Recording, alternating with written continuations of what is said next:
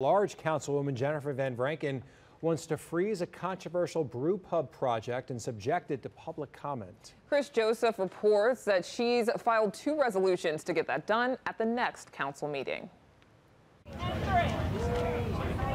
Jefferson Parish government and economic leaders broke ground on a new brew pub project in the heart of Gretna last Friday.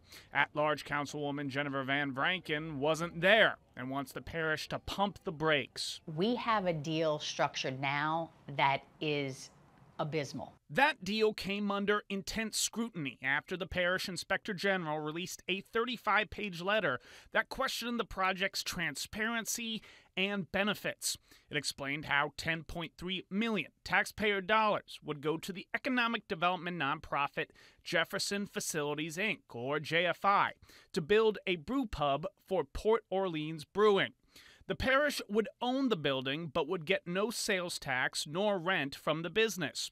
The council has approved the project several times as it's evolved with Van Vrancken's support. After the letter, she challenged the merits of the project, wanting to know more about the final cost. Do you know how much this project is going to cost? Uh, I think in the, the approximately, I don't remember the figures exactly, a, little over 9 million to build the building. Can you sit here and say right now that the money allocated by the parish is going to be the extent of the money needed, that JFI will not need to return to the parish taxpayers and ask for more money for this project? I, I don't have a crystal ball. I don't think so. Everything seems to be okay. I don't know why we would. But I mean, I, I can't predict 100% the future, so I can't give you a guarantee of that. It's been presented in tiny little pieces. It's really obscured from the council and the public the true scale and scope and cost of this project. We have to err on the side of transparency and we have to give people an opportunity to see what the plan is and give us their thoughts. Van Vrancken filed two resolutions in response. The first would freeze that $10.3 million of taxpayer money for the project for 45 days, with the exception of $50,000 for minor expenses. The second calls for a public presentation and public comments on the deal in November. It requests JFI and others give more specifics on the plan. Do you think you have the votes for these resolutions?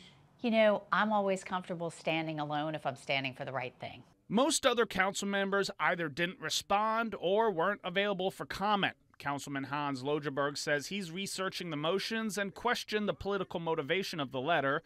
Meanwhile, Councilman Marion Edwards addressed a proposed pause back in September. What do you mean a pause? We're, we're just proceeding to get this to the point where we could sign a contract.